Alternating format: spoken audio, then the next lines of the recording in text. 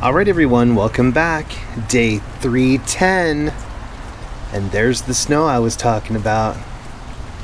It's supposed to be freezing as high temperatures all week. And I hope you guys are having a great day. And don't forget to get out and get your steps in, even if it turns to winter overnight. Alright, I'm going to set this up. And we'll see you guys tomorrow. And we'll do it again.